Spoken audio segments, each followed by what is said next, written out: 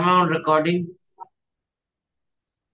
السلام علیکم ناظرین بڑی خوشی کی خبر ہے کہ bank of Canada interest rate کم کرتا جا رہا ہے کم کرتا جا رہا ہے کم کرتا جا رہا ہے اور حیرت انگیز طور پہ کل انہوں نے پوائنٹ فائیو زیرو کم کیا ایز اے ریئلٹر اور میرے ساتھ جو اسپیشل مارکیج ایجنٹ بیٹھی ہے ایکس بینکر آفتر رشید صاحب جو کہ ساری مارکیجز ہماری دیکھتے ہیں بہت سارے ایجنٹس کی ان سے بڑا میں ایک دلچسپ اور مزیدار سوال کروں گا اور گفتگو میں شامل رہیے گا آپ.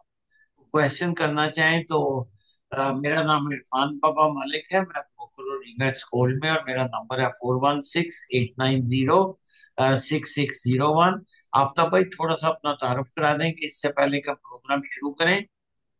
بہت شکریہ ملک صاحب آپ کے انویٹیشن کا. ناظرین، میرا نام آفتاب رشید ہے. میں مارگیج بروکر ہوں. اور میں لائسنس انسالوینسی کاؤنسلر بھی ہوں۔ آپ کو کسی بھی قسم کی مارگیجز کے سلسلے میں لائن آف کریڈٹ کے سلسلے میں ری فائنینسنگ کے سلسلے میں پرائیویٹ مارگیج کے سلسلے میں بزنس فائنینسنگ کے سلسلے میں کمرشل فائنینسنگ کے سلسلے میں کوئی آپ کا کوشچن ہے، کوئی آپ کی ضرورت ہے، آپ مجھ سے کانٹیکٹ کریں۔ میرا نمبر ہے six four seven three zero zero three three zero four بہت شکریہ ملک صاحب۔ ملک صاحب، آج کل یہ ریٹ ریڈکشنز ہو رہے ہیں۔ اس کے بارے میں آپ کیا سمجھتے ہیں؟ ہمیں کیا چیز اس کی طرف دیکھنی چاہیے؟ کیا، کس طرح دیکھ رہے ہیں آپ تھوڑا سا ہمیں بتائیے، پھر ہم آگے چلتے ہیں۔ جی میں تو ایک بنیادی سوال لوگوں کے جو ذہنوں میں میں آپ سے ایک سینئر مارکیج اسپیشلسٹ اور ایک ریل میں خود ریل اسٹیٹ بروکر کے حوالے سے یہ پوچھنا چاہ رہا ہوں کہ کیا ان کا کوئی امپیکٹ بھی ہوگا یا یہ صرف اناؤنسمنٹ ہے کوئی ریل اسٹیٹ مارکیٹ میں کوئی مارگیج انڈسٹری میں کوئی لون انڈسٹری میں کوئی ہلچل بچے گی یا نہیں؟ بہت شکریہ ناظرین۔ پہلے تو میں تھوڑا سا مزید آپ کو بتاتا چلوں کہ ملک صاحب ایک بڑے پرومیننٹ ریالٹر ہیں۔ اور یہ ایک ہم تو خود ان سے سیکھتے ہیں اور یہ نہ صرف یہ کہ ریالٹر ہیں انشورنس کا ایجنٹ بھی ہیں، ان کے پاس انشورنس کا لائسنس بھی ہے۔ آپ کو کرٹیکل انشورنس یا لائف انشورنس کے سلسلے میں کوئی پرابلم ہو تو آپ ان سے کانٹیکٹ کر سکتے ہیں۔ سب سے بڑھ کر یہ کہ ملک صاحب اس وقت کمیونٹی کی بڑی مرنجان مرنج اور بڑی پاپولر پرسنالٹی ہیں۔ یہ لوگ ان سے بہت محبت کرتے ہیں ان کو بڑے پیار سے ان کے ساتھ ان کے فالوورز ہیں۔ تو ناظرین آج چلتے ہیں ہم اپنے کسی ایک پروفیشنل کوشچن کی طرف جو ابھی ہمیں ملک صاحب نے کیا۔ ملک صاحب یہ آپ دیکھ رہے ہیں کہ step by step bank of Canada یہ انٹرسٹ ریٹ کٹ کرتا چلا جا رہا ہے۔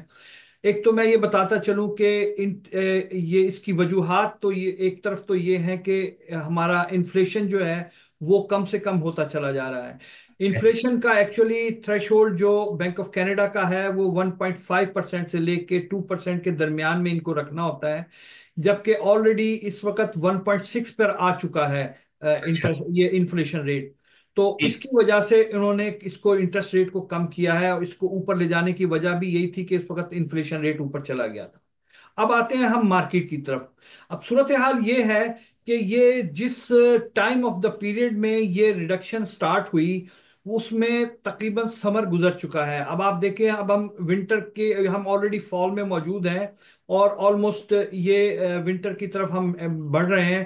اب آگے ہیلووین آ جائے گا۔ ہیلووین کے بعد پھر وہ پارٹی سیزن شروع ہو جائے گا اور یہ پھر ہالیڈے سیزن شروع ہو جائے گا۔ تو یہ ٹائم آف دا ایئر جو ہے، یہ بیسیکلی ایک کول کول ڈاؤن پیریڈ ہے۔ یہ ایکسپیکٹیشن یہ ہے کہ یہ پیریڈ گزارنے کے بعد جس وقت یہ سپرنگ سٹارٹ ہوگا 2025 کا تو مارکیٹ ایک ریاکشن دے گی گو کہ اس وقت بھی تھوڑا سا ریاکشن آیا ہے مارکیٹ سے۔ But according to the expectation اتنا ریاکشن نہیں آیا۔ یہ اس کا ایکچول ریاکشن جو آئے گا وہ 2025 کے سپرنگ سے ہمیں پتہ لگنا شروع ہوگا کہ اس کا اس کا کیا ریسپانس دیا ہے مارکیٹ نے۔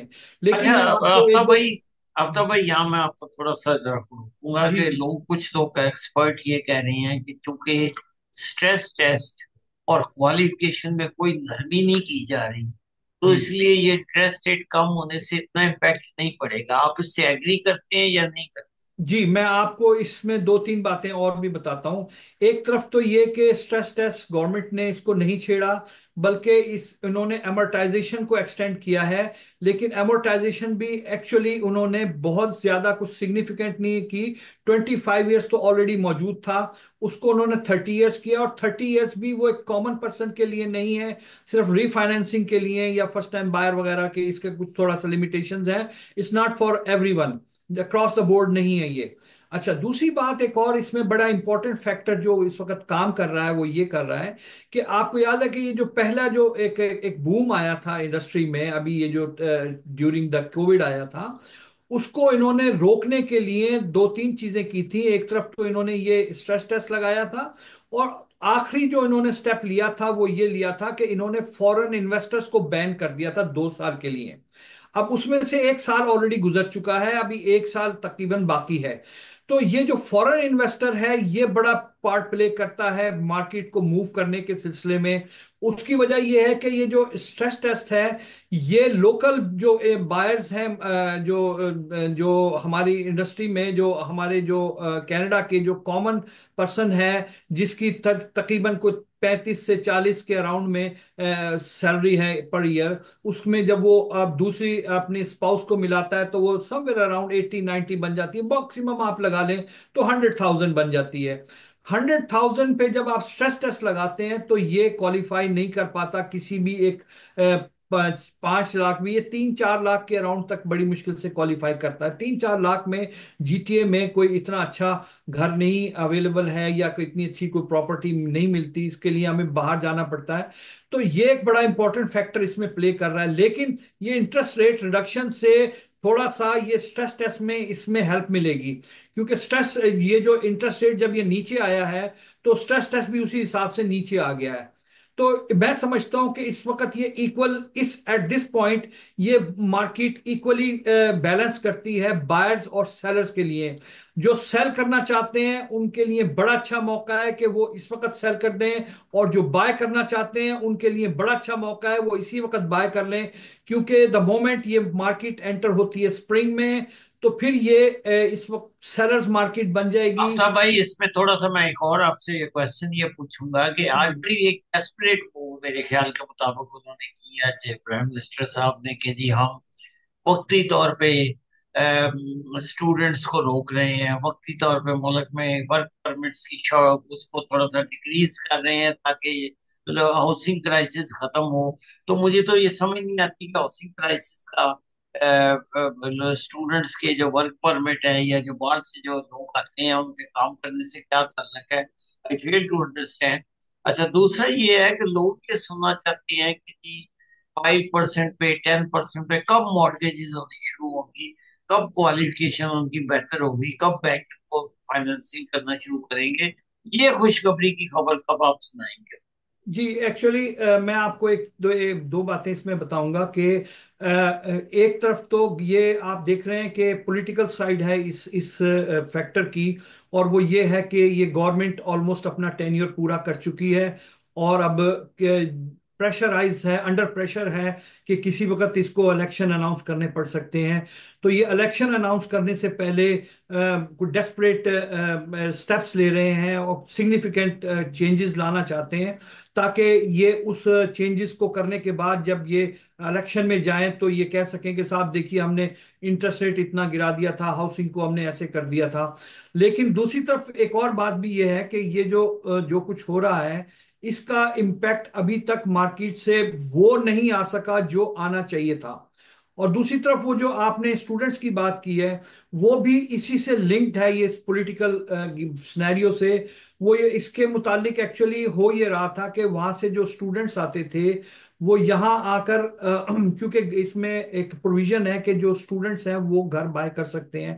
اب ہوتا کیا تھا کہ اسٹوڈنٹ کی ایکچولی کوئی انکم نہیں ہوتی، ان کی کوئی اتنی سگنیفیکینٹ وہ جو ان کا سٹائپنٹ وغیرہ ملتا ہے، وہ اسی کی بیس پہ وہ اپلائی کر سکتے ہیں، جس سے کہ کبھی میرا خیال ہے کہ کوئی ایک لاکھ کا گھر بھی نہیں کوئی پراپرٹی وہ بائی کر سکتے۔ لیکن ہوتا کیا تھا، وہ اس میں پھر ڈاؤن پیمنٹ کا گیم کھیلتے تھے۔ وہ بیک ہوم سے ان کے لیے لوگ ریمیٹنس بھیجتے تھے، جو یہاں وہ انویسٹ کرتے تھے۔ اس کو انویسٹ کر کے تو وہ گھر وغیرہ خریدتے تھے۔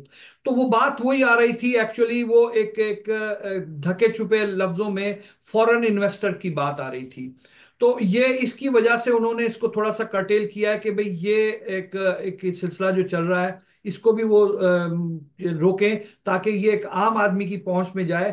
اور میں سمجھتا ہوں کہ یہ گورنمنٹ کو جب تک کہ یہ سٹریس ٹیسٹ کو ایڈریس نہیں کریں گے، جب تک کہ یہ اس کے اس کی امورٹائزیشن کو فردر ایکسٹینڈ نہیں کریں گے، اس کو آلموسٹ اور منیمم بھی 35 ایئرز پہ لے جانا چاہیے۔ میرا حساب سے 40 ایئر اور 45 پہ بھی ہونا چاہیے اس کو، لیکن منیمم 35 تو ضرور ہونا چاہیے۔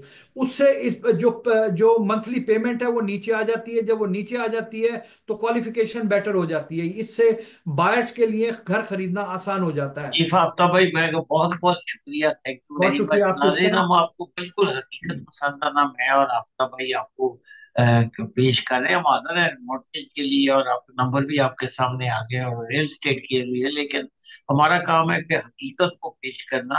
ہم آپ کو یہ نہیں کہتے ہم آسمان سے تارے توڑ جائیں گے یا آفتاب نہیں کہتے ہیں جی میں یہ کر دوں گا۔ ہم حقیقت پسندانہ آپ کے سامنے پیش کرنا چاہتے ہیں۔ مورٹیج کوالیفائی کرنی ہے پراپرٹی لینی ہے۔ تیاری کر لیں۔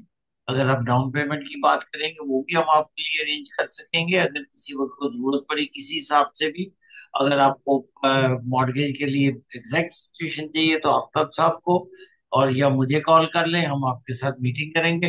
آفتاب بھائی بہت بہت شکریہ۔ تھینک یو ویری مچ آپ ہمیشہ پریکٹیکل گفتگو کرتے ہیں، حقیقت پسندانہ گفتگو کرتے ہیں۔ اور انشاءاللہ آئندہ بھی ایسے ہی سخت سوالوں کے ساتھ میں آپ کے ساتھ پروگرام کروں۔ بہت شکریہ ملک صاحب۔ ناظرین